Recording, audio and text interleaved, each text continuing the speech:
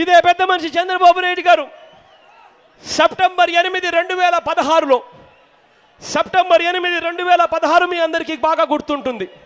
ఆ రోజు సెప్టెంబర్ ఎనిమిది రెండు వేల పదహారులో అరుణ్ జైట్లీ గారు అర్ధరాత్రి ఇదే అరుణ్ జైట్లీ గారు ప్రత్యేక హోదాకు బదులు ఒక అబద్ధపు ప్యాకేజీ అని చెప్పి రిలీజ్ చేశాడు ఈ పెద్ద మనిషి. అరుణ్ జైట్లీ గారు ప్రత్యేక హోదాకు బదులు ఒక అబద్ధపు ప్యాకేజ్ రిలీజ్ చేస్తే అది రిలీజ్ చేసేటప్పుడు అదే అరుణ్ జైట్లీ గారి పక్కనే కేంద్ర ప్రభుత్వంలోని చంద్రబాబు నాయుడు గారి మంత్రులు పక్కనే లేరా అని అడుగుతా ఉన్నాను. ఇదే చంద్రబాబు నాయుడు గారిని మీ అందరి తరఫున అదే అరుణ్ జైట్లీ గారు ఆ ప్యాకేజ్ రిలీజ్ చేస్తే ఇదే పెద్ద మనిషి చంద్రబాబు నాయుడు గారు అదే రోజు అర్ధరాత్రి అరుణ్ జైట్లీ గారికి ఈ పెద్ద మనిషి కృతజ్ఞతలు తెలుపుతాడు. మరుసటి రోజు ఈ పెద్ద మనిషి కేంద్ర ప్రభుత్వాన్ని అభినందిస్తూ అసెంబ్లీలో ఏకంగా తీర్మానాలు చేస్తాడు. ఇదే పెద్ద మనిషి అంతటితో ఆగిపోకుండా అరుణ్ జైట్లీ గారికి ఢిల్లీ వెళ్ళి శాల్వాలు కప్పొస్తాడు ఈ పెద్ద మనిషి చంద్రబాబు నాయుడు గారు. అంతటితో కూడా ఈ పెద్ద మనిషి చంద్రబాబు నాయుడు గారు ఆగిపోలేదు. ఇదే పెద్ద మనిషి ప్రత్యేక హోదా వల్ల ఏం మేలు జరుగుతుంది అని చెప్పి రివర్స్ గేర్లో మాట్లాడతాడు. ప్రత్యేక హోదా వల్ల ఈశాన్య రాష్ట్రాలు ఏం బాగుపడ్డాయి అని చెప్పి ఎదురు ప్రశ్న మనకేస్తాడు ఈ పెద్ద మనిషి. ఇదే పెద్ద మనిషి చంద్రబాబు నాయుడు గారు కోడలు మగబిడ్డను కంటాను అని అంటే అత్త వద్దంటుందా అని చెప్పి ఈ పెద్ద మనిషి చంద్రబాబు నాయుడు గారు మనల్ని అడుగుతారు.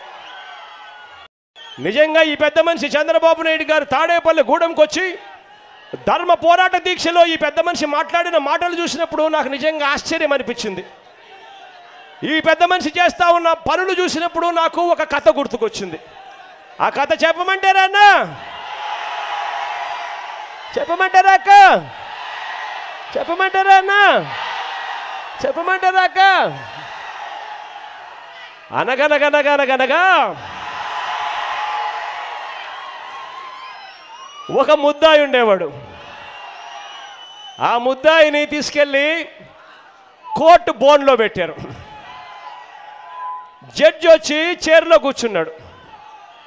జడ్జి వచ్చి చైర్లో కూర్చోగానే ఆ ముద్దాయి బోరున ఏడవడం మొదలుపెట్టాడట. బోరున ఆ ముద్దాయి ఏడుస్తూ జడ్జి వస్తూనే ఆ ముద్దాయి అన్నాడట సార్ తల్లి తండ్రి లేని వాడిని సార్ నన్ను విడిచిపెట్టండి సార్ అని చెప్పి బోరున ఏడ్చడం మొదలుపెట్టాడట. జడ్జేమో ఏమో ఆ ముద్దాయి ఏడుపును చూసి ఆ జడ్జి పబ్లిక్ ప్రాసిక్యూటర్ను అడిగాడట. ఎందుకయ్యా ఈ మనిషిని తీసుకొచ్చారు? ఈ మనిషి తల్లి తండ్రి లేనివాడంటా ఉన్నాడు. తల్లి తండ్రి లేని వాడిని తీసుకొని వచ్చి ఈ బోన్లో నిలబెడతా ఉన్నారు. ఆ మనిషి ఏడుస్తూ ఉన్నాడయ్యా అని చెప్పి జడ్జు పబ్లిక్ ప్రాసిక్యూటర్ని అడిగాడట. ఆ పబ్లిక్ ప్రాసిక్యూటర్ ఏమన్నాడో తెలుసా? ఆ పబ్లిక్ ప్రాసిక్యూటర్ జడ్జి గారితో అన్నాడట సార్ ఈ మనిషి మాటలు నమ్మద్దండి సార్.